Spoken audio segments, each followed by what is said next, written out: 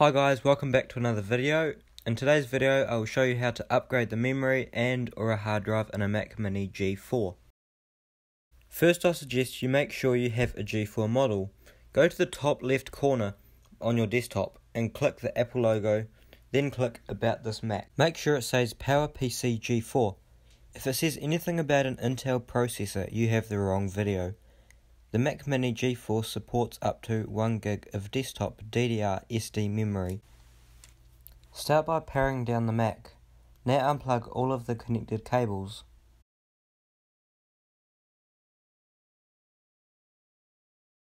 Turn the computer upside down.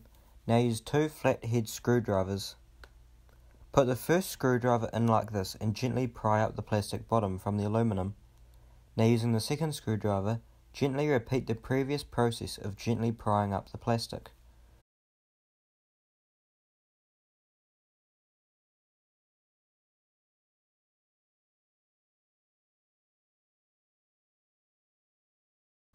Do this all the way around the machine.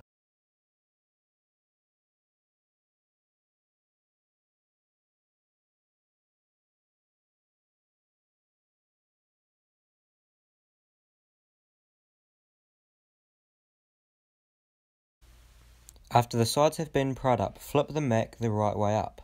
Now gently lift the top straight up. If you're wanting to upgrade the memory to 1 gig, pull outwards on the two levers, now lift the module up and out.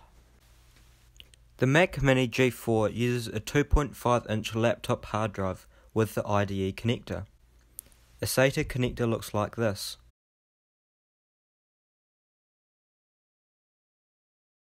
An IDE connector looks like this, which is the one we will be using. To get to the hard drive, we need to start by removing these three screws.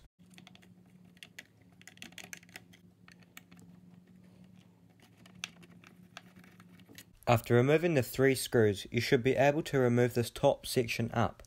However, be careful because there is a connector connecting the disk drive and hard drive to the main board.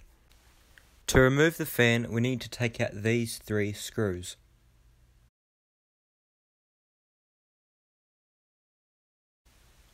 Now you can take the fan out.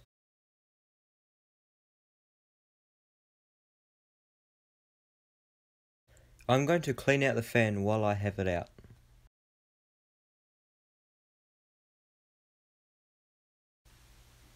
To remove the hard drive, remove these two screws.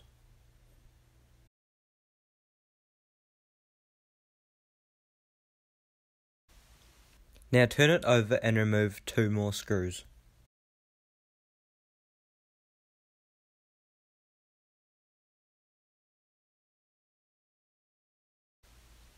Now gently slide the hard drive away from its connector.